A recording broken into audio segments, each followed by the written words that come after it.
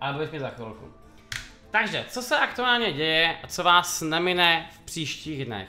Já bych to ještě jednou rád zopakoval pro ty, kteří třeba náhodou úplně tolik Hearthstone nehrajou, nebo netuší, co se děje, protože se blíží jedna velice zásadní věc, a to jsou nervy, uh, nervy, nerfy karet, který velice dobře znáte, a jsou to balance changes, které přicházejí s updatem 9.1, jako 9.1. A já tady nebudu dneska rozebírat úplně ty nerfy, protože už jsme se o těch nerfech eh, bavili v jednom videu, který bylo úplně hrozlivě dlouhý, rozsáhlý a detailní, který jsme dělali s pokrovačem. Takže jenom v rychlosti to řeknu. A Innervate tak se nerfuje z dvou mana krystalů, který vám dává na jeden. Fire Vortex stojí o manu víc. Hex tak stojí o manu víc. Warleader tak už nebafuje životy, ale jenom útok. Spreading Plate stojí o manu víc. A to je zatím asi všechno. Tak, já jsem tohoto krátký video, nebo tato tu krátkou úvahu chtěl věnovat tomu, uh, protože je vždycky strašná spousta lidí, kteří nechápou, jak se mají chovat během nerfů a co má dělat se svýma kartama a pak se strašně jakoby divějí tomu, co se děje. Uh, prakticky úplně ideální, nebo respektive jedna zásadní věc, kterou je potřeba si uvědomit při tom, když přicházejí nerfy, tak je to, že většina těch karet, které uh, vždycky se nerfujou, tak nějakým způsobem jsou v takzvaný grace period. V Grace Period jsou po dobu dvou, dvou týdnů a Grace Period znamená to, že v podobu, co jsou v Grace Period, tak je můžete disnout za plný dust. To znamená, že až v až hitne patch, tak můžete Warleadera disnout ne za 400 dustů, teda jako ne zlatýho, normálního, za 100 dustů, ale za 400 dustů, případně pokud máte zlatý jako já, tak je můžete distout ne za 400 dustů, ale za 16 dustů, což je hrozlivě velký rozdíl. Tím pádem nechte se ty karty a hnedka jak hitne patch, tak se nebojte je disnout, protože během těch 14 dnů v té Grace Period, tak si je můžete vykraftit vlastně bezplatně na zpátek, kolikrát budete chtít.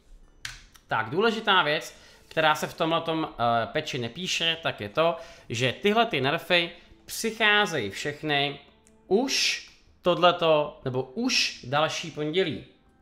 Jo, takže nevím, jaký máte samozřejmě čas u vás. Tady u mě je teď nějaký, nějaký čtvrtek 14. Jo, tím pádem v pondělí 18. Jo, by měly přijít nerfy. Může to být o půlnoci, může to být ve dvě ráno, může to být uh, dopoledne, odpoledne, nikdo pořád neví. Pravděpodobně to nebude na všech regionech najednou, bude tam zase nějaká prodleva, ale vzhledem k tomu, jak se třeba nasazovali Knights of the Frozen Throne, tak věřím tomu, že by to mělo být po dvou hodinách, takže by prostě měla první být Amerika, pak Asie a pak Evropa. Uvidíme, jaká bude nakonec realita. Tak, to se teda týče těch ostatních karet, tak je vám asi úplně jasný, že Inner se asi úplně jako nedisnete, protože ta karta je basic, takže s ní toho moc jako neuděláte. A to samý prostě s dalšíma kartama, které jsou součástí toho nerfu, jako je třeba právě Fire Vorex. Takže maximálně bych vám rád řekl jednu věc a to je to, že pokud se v pátek teďko najednou probudíte a zjistíte, že vaše balíky jsou výrazně horší, ať už to je právě, tak to jsou třeba Piráti se Sekrou, nebo to, jsou, nebo to je třeba právě Druid z, mm, ze Spreading Plaguem, nebo to jsou třeba nějaké jiné karty, tak jedno krásné řešení tak je to, co bych rád doporučil úplně všem, a to je experimentujte. Experimentujte s těma balíkama, ale neexperimentujte s něma v ranked modu, ale experimentujte, experimentujte s těma balíkama v casual formátu. Vždycky po každém nerfu taky narvaný casual profíkama. Já se, já se přiznám, že jsem takhle jednou právě stalo, že jsem potkal life coache v casualu, hnedka potom, co byl, uh, co přišel ten nerv, a bylo to poměrně překvapení a až potom jsem zjistil, že prostě tam life coach testoval právě nějaký úplně jako podivný balíky, protože prostě není tady žádný jiný pořádný playground, kde ty balíky vyzkoušet, než prostě nějaký takovýhle systém. Takže doporučuju to prostě zkoušet. Zkoušejte, testujte a nebojte se toho.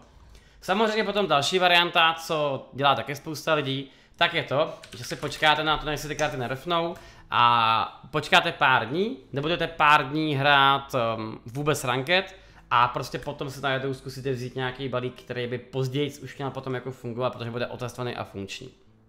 Takže asi tak.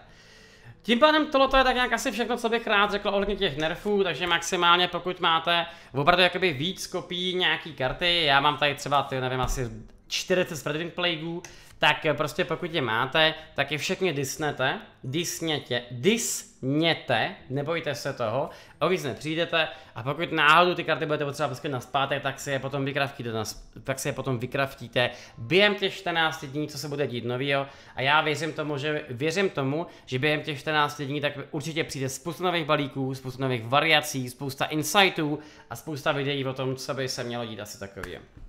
Takže dámy a pánové, toť vše. A ještě možná jedna poslední otázka. Na který nerv se těšíte nejvíc? Je to Innervate, je to Sekera, je to Hex? Jsou to Murloci? anebo to je prostě Spreading Plate? Anebo je to obecně celý druid? Napište mi do komentářů, já se budu strašně moc těšit. Díky moc. Tak, zkrátka. Já jsem musím vysmrkat, jo, zase tady s ním ty vole jak